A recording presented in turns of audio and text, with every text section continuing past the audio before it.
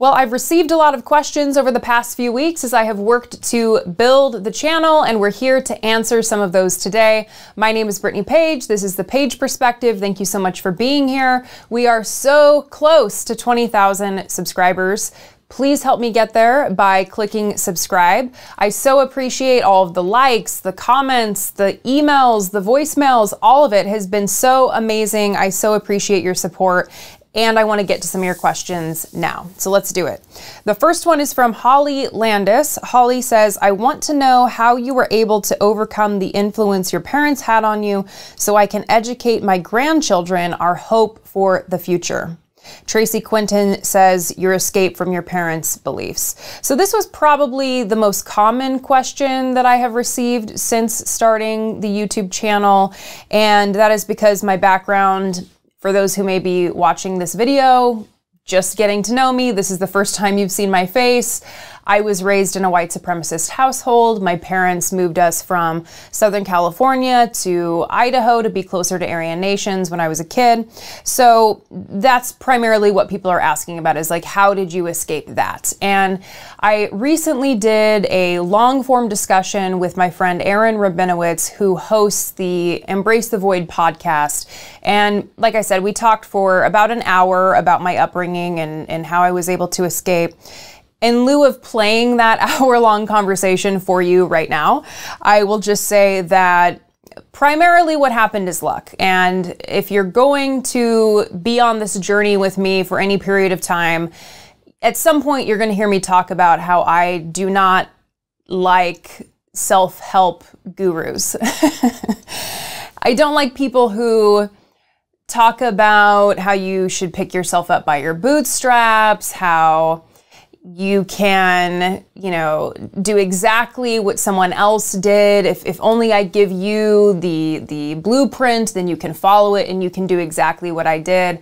Life is far more complicated than that. And a lot of it comes down to luck. And I was lucky enough to start to realize that my parents did not have my best interest in mind.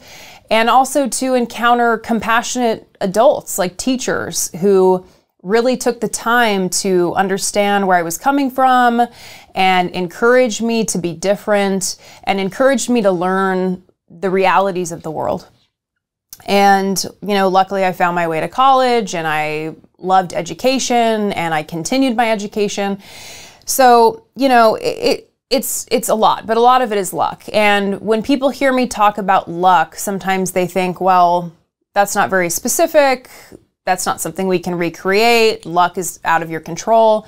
And I hear you on that, but what my friend Aaron Rabinowitz would say to that, who studies luck, is obsessed with luck, is that we can actually create moments of luck for people. So, like, we can be that teacher that stepped in for me to help and and educate me. We can be the people who are creating moments of luck for other people by being compassionate, by doing the right thing. So, when you hear me talk about luck, hopefully you don't hear a hopeless message. Hopefully, you hear one of hope. And if you want to hear more about how I escaped my upbringing, I would I would definitely suggest going and listen, listening to that podcast. Thank you for those questions. Next is David Smith. I just discovered your channel and like your videos. I hadn't thought how MAGA is causing a surge in white supremacist groups.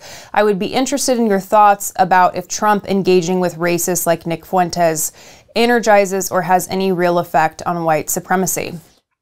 Uh, David, yes, I would say absolutely. It, it legitimizes the white power movement to have Trump eating dinner with Nick Fuentes on Thanksgiving, I often talk about how much more difficult it would have been for me to escape my white supremacist upbringing if I had been growing up today rather than in the 90s. Because, you know, when my parents were showing up at my school demanding that I sit out on history lessons in fourth grade, and I was the only one in the hallway, if that was happening now, I wouldn't be the only one in the hallway. I would be out there with other kids who have right wing radical parents that don't want them learning about the realities of the world, that want to ban books in libraries and everything that we're seeing in the news. It would just be that much harder for me to have escaped.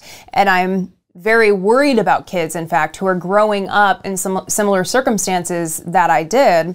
But if you don't want to take it from me that it legitimizes the white power movement to have Donald Trump hosting Nick Fuentes for dinner, you can take it from historian Kathleen Belew, who is an associate professor of history at Northwestern University. And she has spent years researching and, and writing about white power movements. And in a recent interview with Greg Sargent at the Washington Post, she talks specifically about the ways that that dinner with Nick Fuentes functioned as a propaganda victory, saying, Quote, what happened during the Trump years is that he and his administration opened some space for people to use mainstream politics for extremist purposes. A former president sitting for a dinner meeting with a white power activist is the kind of thing that activists can use to claim that they have become a real political force. We have to read that alongside things like January 6th and the Pelosi attack, on Paul Pelosi, husband of the House Speaker, white power activists can use both of these events to say that the political mainstream can be infiltrated and radicalized. They think that a white public can be awakened to the dangers of racial extinction. And add to that, by the way, the general refusal of leaders in the Republican Party to specifically come out and say no, we will not support Donald Trump for president because he is meeting with white supremacists. Would have been that easy, but apparently not. So, thank you for your question, David. Appreciate that one.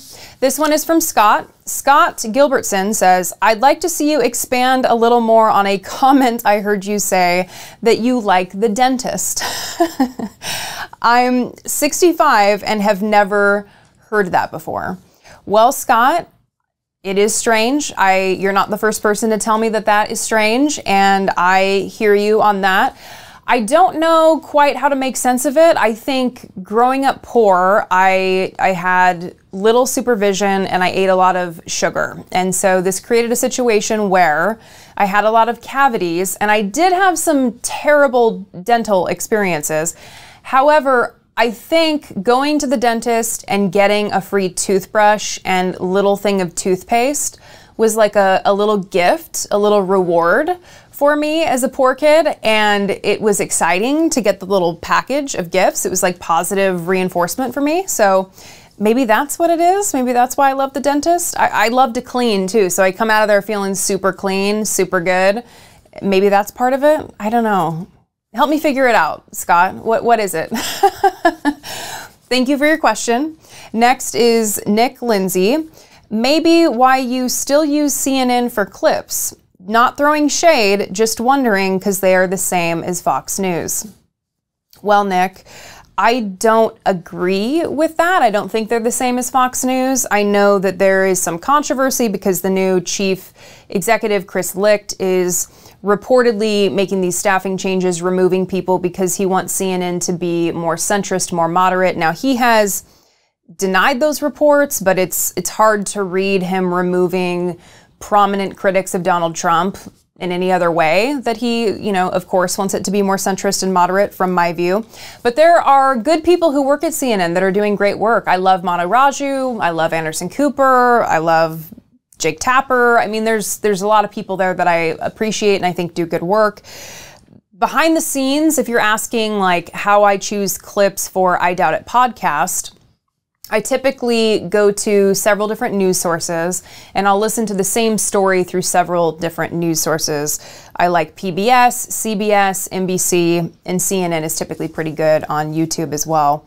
And sometimes I listen to the same story through all those different news outlets and I determine who I feel has the most accurate take and then I use that clip. Not everyone has time to do this, so I think a shorthand for this is to find people that you trust, that you feel like are doing good work, and whether those are people that you follow on YouTube or follow on Twitter, and then you kind of understand who they trust for information. That's kind of the shorthand uh, of doing it rather than going to all these different sources. So I don't agree, Nick, that CNN is the same as Fox News. I am cautious, though. I understand where you're headed with that. I think it's important to suss it out, any resource that you're using, and ensure that it is accurate as possible.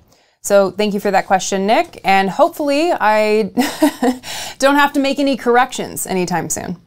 This one is from Adna Loy. Adna says, I would love to see you talk about progressives that are up and coming, not the liberals, but the real and actual progressives. Well, here's a few that got elected this round Delia Ramirez in Illinois, Becca Balint in Vermont, Greg Casar in Texas, Jasmine Crockett, also in Texas, Jonathan Jackson in Illinois, Val Hoyle in Oregon, and Summer Lee in Pennsylvania. And then we cannot forget Maxwell Frost in Florida. Maxwell Frost is the first member of Gen Z to be elected to Congress. Recently made headlines because he actually tweeted about losing an apartment that he wanted to rent here in DC because of his bad credit. And we featured him on I Doubt It podcast in our Taking Care of Biz segment, which is where we highlight someone who is you know, taking care of biz and doing good work. And how wonderful to have someone in Congress who's being transparent about the fact that they were denied an apartment because they have bad credit, like millions of Americans. Finally, someone in Congress who is going to be able to stand up for Americans who are in that same situation, struggling with poor credit, struggling with finances. So, Maxwell Frost is definitely one to watch.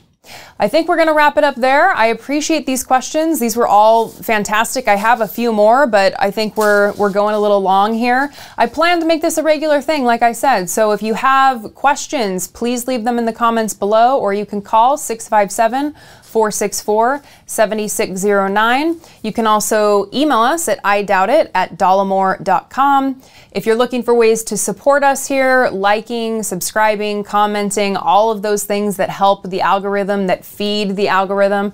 But you can also support us on Patreon, patreon.com slash I doubt it podcast. If you have topic suggestions, by the way, for things that you would like to see me do videos on, I am always accepting those, so be sure to leave those for me in the comments as well. Thank you so much for being here. Thank you for these awesome questions, and I will see you next time.